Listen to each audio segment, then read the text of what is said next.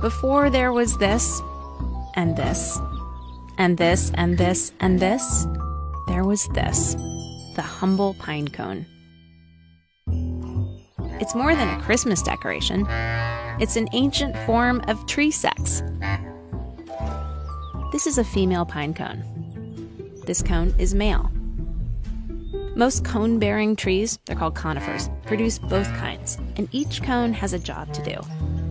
Males, that's easy. They just make pollen, lots of it, and let the wind spread it around.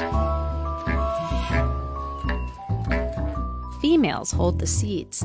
They're tucked deep in there, inside each of those armor like scales. She has to protect them, keep them from being eaten. Be like a fortress. But seeds also have to be exposed at some point in order to catch pollen and be fertilized. So, this humble pinecone has an amazing trick. For a short time, early in her development, she opens her scales just slightly to let the pollen in. Then she closes them back up while the seeds mature. But when the seeds are ready, her scales flex and stretch. They open to release the seeds, which grow up into the next generation of trees. A good strategy. The largest living things in the world the oldest, they all reproduce with pine cones. Conifers have been doing this for 300 million years. A few other plants have shown up since then, with their own faster, maybe more spectacular ways of getting the job done. They've taken up a lot of the best real estate. Today, conifers only really dominate the landscape in places where flowering plants can't thrive.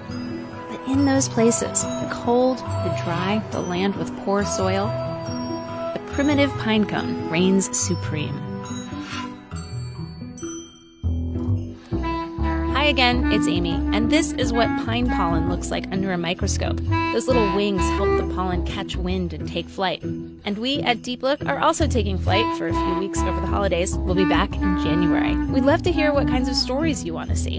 Send us ideas in the comments field below. And while you're at it, click that button right there and subscribe. That way you'll never miss an episode. Thanks so much. Take care.